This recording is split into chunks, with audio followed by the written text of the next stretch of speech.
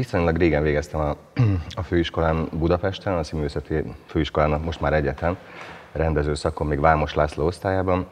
aztán Székely Gábor osztályában még hosszan bejártam, és akkor azóta gyakorlatilag ez körülbelül a 9, nem sose tudom az évszámokat, de ez körülbelül olyan a 90-es évek, igen, 90-ben talán, vagy 92-ben. Tehát valahogy így, így történhetett, és akkor azóta gyakorlatilag nagyon sok felé dolgoztam, mint rendező, így általában, mint szabadúszó, nagyon-nagyon rövid ideig voltam, mint társulati tagok, tag, és azóta össze-vissza bolyongok mindenfelé, és akkor nagyon sok társulattal és nagyon sok emberrel volt módon találkozni, és ezt tulajdonképpen eléggé élvezem. Ugye a próba időszak kezdetén beszélgettünk, vagy ültünk le és próbálunk megbeszélgetni.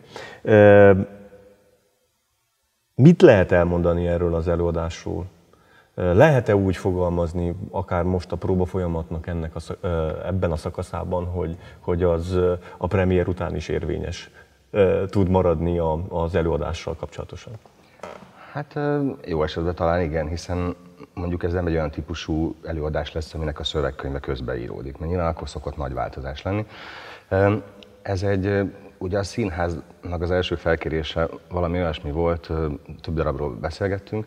és hogy aztán az lett, hogy legyen lehetőség szerint valami kortárs magyar szerzőtől, és évad kezdődhet, hogy az se baj, hogyha valami vidám, vagy kicsit könnyedebben, és lehetőség szerint ilyen sok embernek adjon szerepet, és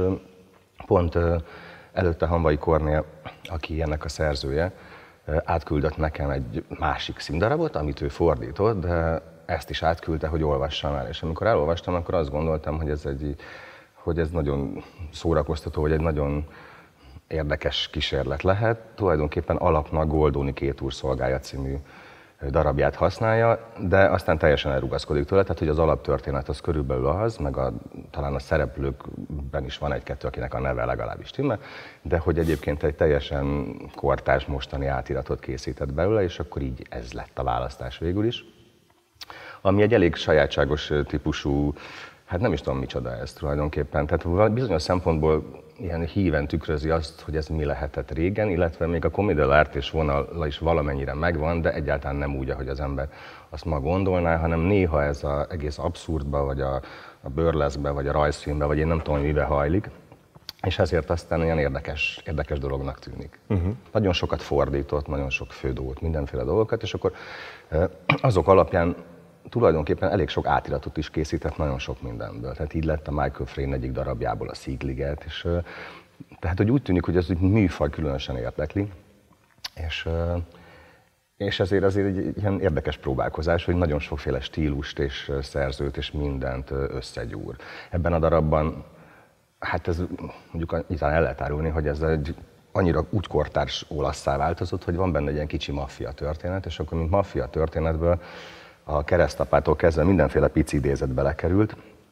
úgyhogy ilyen sok kikacsintás van erre-arra, és hivatkozás, hogyha valaki ismeri ezt a fajta irodalmat, vagy filmeket, vagy nem tudom, stílust. Miközben a, a figurák szélsőségessége, az meg mondom, egy picit emlékeztet ezekre az archetipikus komediált és dolgokra, csak már másképpen. A befogadás és a történetmesélés módja, vagy hogy hogyan lehet hatást elérni a,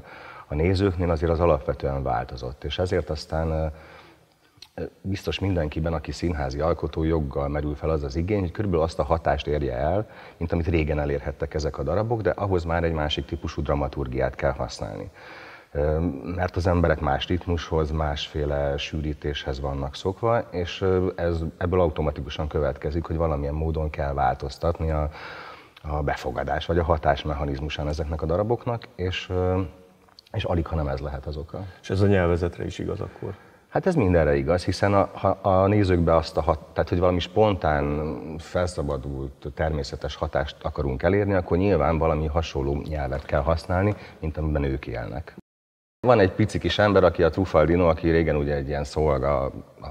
az eredeti darabba, az most egy ilyen pizza futár, aki belekerül egy ilyen maffia történetbe, és tulajdonképpen ő szeretne nagyon egyrészt élve kikerülni ebből az egész történetből, másfelől meg boldogulni, és akkor az ő csetlés botlásai azok, azok nagyon emlékeztetnek az összes ilyen kisember. Tehát mondjuk a chaplin is tudnám mondani, vagy a Buster keaton vagy minden ilyen típusú figurának a, a viszonyaira, amikor egy egy furcsa közegbe, furcsa emberekhez kerül, és valahogy megpróbál alkalmazkodni ehhez a világhoz, és akkor ez hol sikerül, hol nem.